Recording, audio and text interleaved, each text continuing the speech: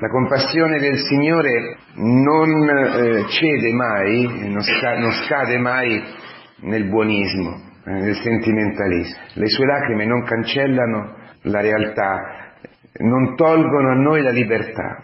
E questo è il eh, cuore del Vangelo, il cuore della rivelazione, dalla prima pagina, della Genesi. Dio ci ha creato con un amore infinito, noi siamo l'incarnazione dell'amore di Dio. Dio è uscito da se stesso e, e come dire, si è prolungato in noi creandoci la sua immagine e somiglianza come un'opera perfetta. Però questa perfezione reca in sé il sigillo della libertà e, e Gesù piange per eh, rispettare la nostra libertà. La sua commozione, la sua compassione il suo fremere di amore per noi è, è qualcosa che forse noi non conosciamo perché è molto difficile, è divino lasciare veramente libero l'altro. Come diceva Benedetto XVI nella enciclica sull'amore, Dio arriva al punto di rivolgere se stesso contro se stesso, non toccando la nostra libertà e lasciando che noi lo rifiutassimo e uccidessimo il suo figlio, che sembra una cosina così che tanto abbiamo sentito tante volte, tutti i giorni, e invece è una cosa molto molto profonda perché tocca le, le fondamenta della nostra vita, perché tutto si gioca in questa visita, nell'accogliere o non accogliere la sua visita. Tu riconosci la visita del Signore? Io riconosco la visita del Signore oggi. Cioè, Lui mi visita attraverso le persone, attraverso gli eventi della nostra vita. È Lui che cerca, noi, sempre. Sto alla porta e busso. Quando vedrete questi segni, ricordatevi, aprite gli occhi, abbiate discernimento perché è Lui alle porte. Allora il demonio si mette lì, tra la visita del Signore e noi, e comincia a dire che quella non è la visita del Signore, ma è la nostra sfortuna, è qualcosa che viene per farci del male, per distruggerci, e sempre ritorniamo a, ad Eva e Adamo davanti, più Eva che Adamo, la verità, davanti all'albero nel Genesi. Tu e io riconosciamo oggi la visita del Signore, nell'atteggiamento di quella persona, in questo che devi vivere, che sei chiamato a vivere e dal quale non puoi scappare, dalla volontà di Dio.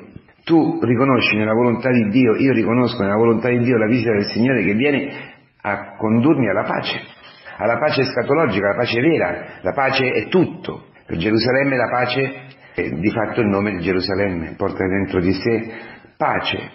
Perché? Perché Gerusalemme è un frammento di cielo sulla terra. Gerusalemme è il sigillo dell'amore di Dio. C'è il Tempio, c'è il cuore stesso del popolo, c'è la Torah, c'era il rotolo della Torah nel Tempio, c'era la, la parola di Dio, c'era la rivelazione, c'era tutta la storia. L'hanno perduta, hanno perduto il frammento di cielo sulla terra perché non hanno riconosciuto come Dio li visitava. E quindi anche il memoriale, il luogo dove celebrare, dove riunirsi, dove vivere la comunione come popolo, tutto l'hanno perduto perché non sono andati oltre il segno, non sono andati mai al significato, come accade tante volte a noi, e, e soprattutto hanno fatto alleanze con popoli stranieri. Eh, si mettono tutti insieme e hanno ucciso il Messia, hanno ucciso il Signore con gli odiati romani.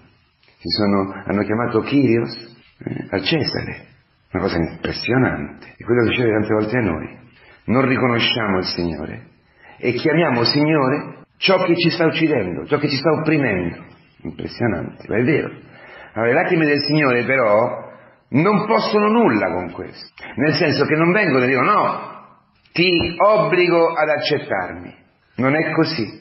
E questa è una parola molto forte per noi, innanzitutto di conversione. Oggi ho discernimento, oggi so riconoscere la visita del Signore, perché non è soltanto una visita di, uno, di un aguzzino che gli piace farmi del male attraverso quell'atteggiamento ostile di quella persona o attraverso una malattia, attraverso una difficoltà, una sofferenza, una frustrazione, un'umiliazione.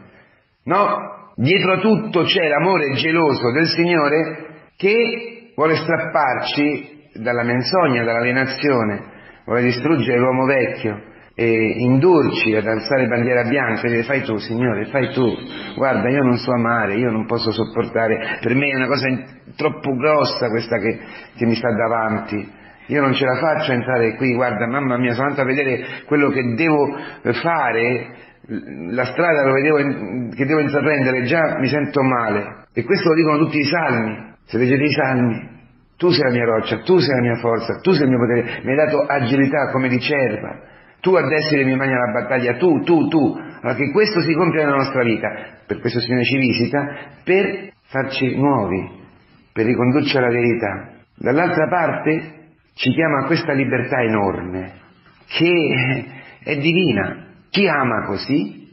Quale madre veramente ama così suo figlio? A parte che poi è inevitabile, deve lasciare, non può obbligare il figlio. E quando questo succede, sono macelli enormi. Quanti figli sono legati morbosamente alle loro madri e non sanno prendere la minima decisione, sono lì annodati, o al padre, non più con la madre, no? ma, ma quanti ragazzi si annodano nelle relazioni anche a 15-16 anni, passionali, per cui dipendono completamente dall'altro e non possono lasciare l'altro. Adesso poi con i mezzi di comunicazione, no?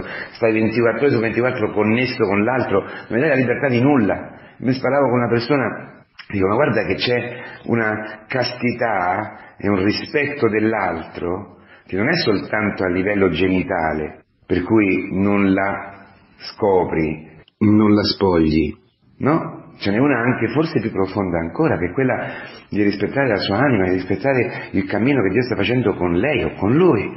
Per cui non spogli la sua interiorità, non vuoi mettere a nudo ciò che c'è nella sua anima, nei suoi pensieri, nella sua vita interiore.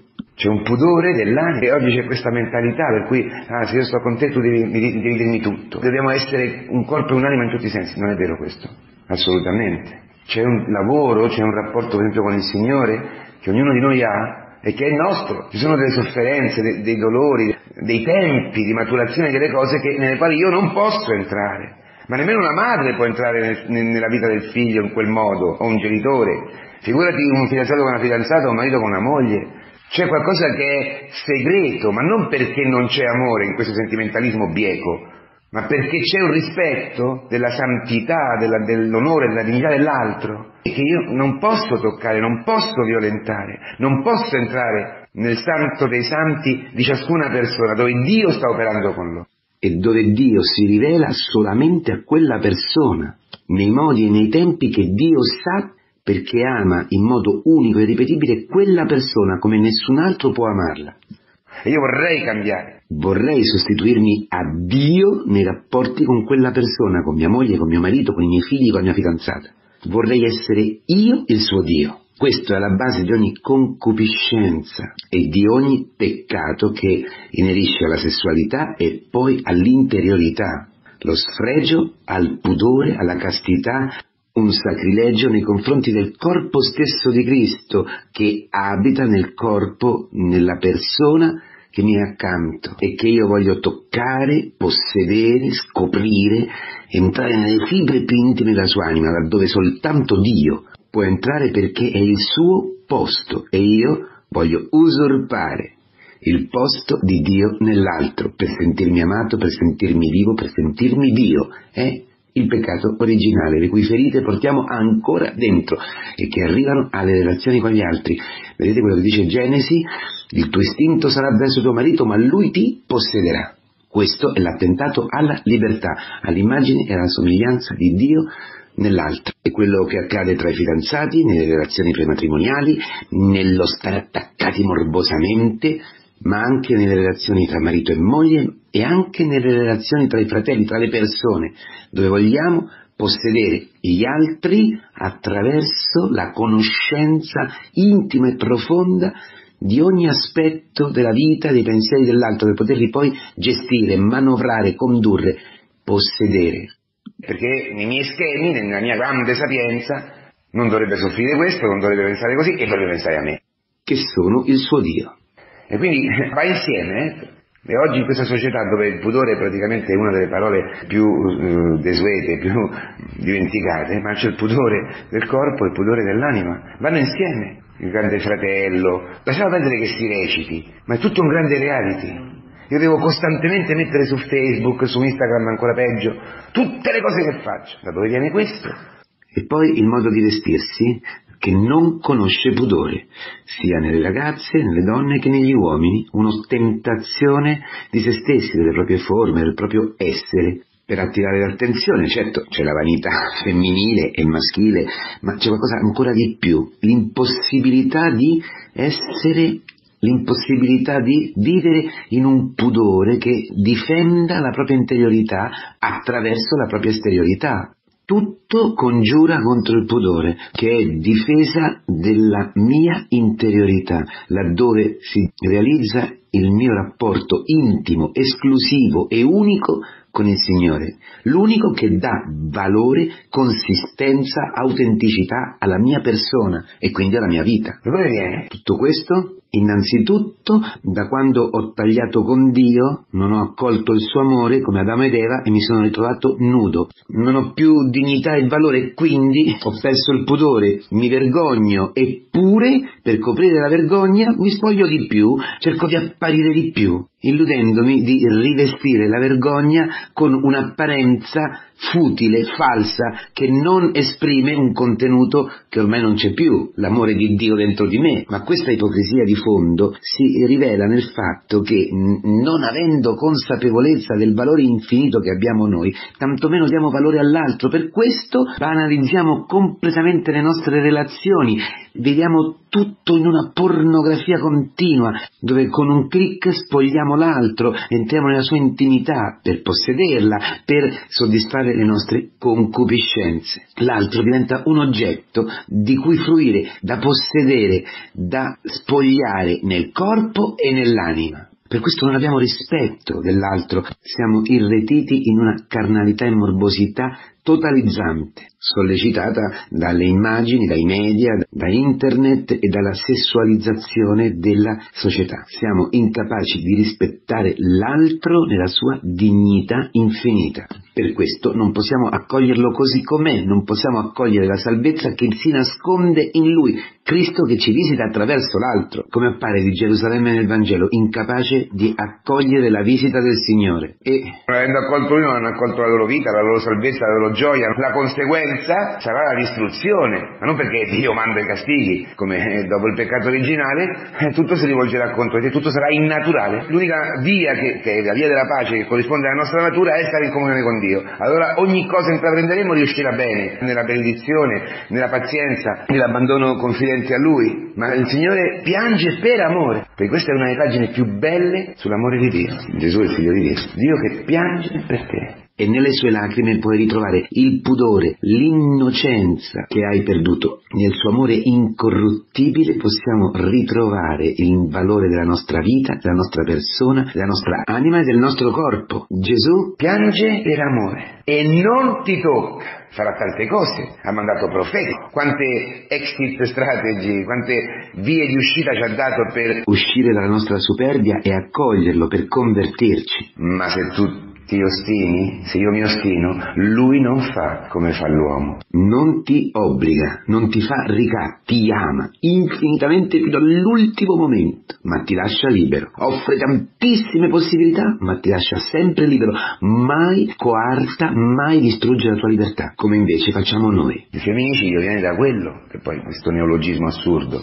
Perché? Perché se l'altro mi dà la vita e l'altra è libera di andarsene con un altro, io sono finito perché mi sfugge di mano il potere su di lei, perché avendo potere su di lei, se lei, la moglie o la, la, compagna che sia, mi dà l'esistenza, io vivo perché lei mi dà la vita, quando lei va con un altro mi toglie la vita, e quando io provo, riprovo, riprovo a riprendere e lei no, la mia vita finisce, che devo fare? Devo uccidere chi mi ha ucciso. Ma questo sono tutti i giorni. Non arriviamo ad uccidere, ma nel cuore uccidiamo il fratello che non fa quello che dico io, che non mi ama come io, come io esigo. Invece nel Vangelo appare che il Signore umilmente si ferma al confine che tu gli metti. Davanti. Questo è l'amore vero. Confidando che lasciando libero l'altro anche di distruggersi, la distruzione di Gerusalemme che abbiamo ascoltato nel Vangelo, terribile, conseguenze terribili alla chiusura nei confronti del suo amore, questa distruzione sia la possibilità di convertirci. Dice San Paolo, queste parole terribili che molte volte non capiamo, nella Chiesa sono state le scomuniche, eccetera,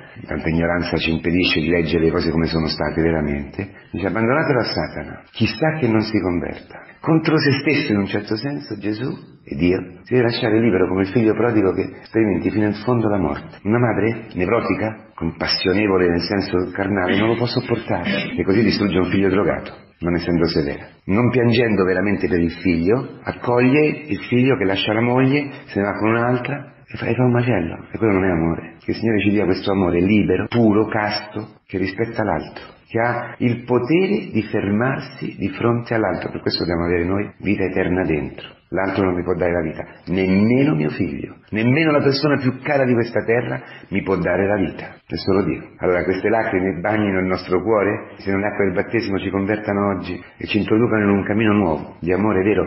Nella comunità questo è importantissimo. Queste lacrime di amore l'una per l'altra rispettando l'altro nella diversità, nei suoi tempi. Non si possono scrivere a tavolino i tempi e i modi della conversione personale e dell'altro. In un cammino di conversione. I tempi li detta Dio che si adegua con amore alla nostra libertà, con pazienza infinita, rispettando la nostra libertà. Per questo non sappiamo quando l'altro si aprirà al Signore. Magari una persona necessita 5, 6, 7 anni di formazione, non è che decido io quando quello si converte, quando quello si riconcilia con i genitori, quando quello... No. Io nella mia vita ancora oggi sto scoprendo cose che...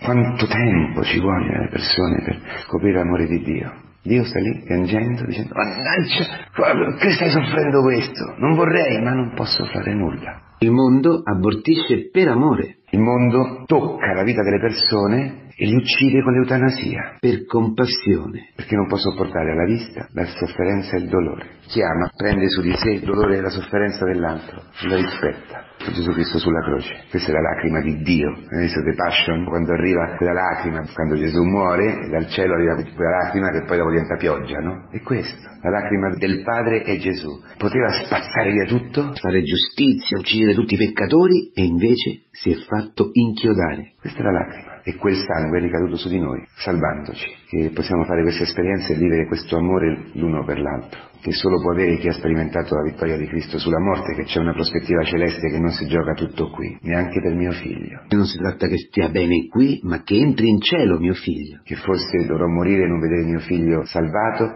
e forse mio figlio si salverà all'ultimo momento, perché è libero, come sono libero io. E come il Signore mi ama, piange per me, rispettando la mia libertà.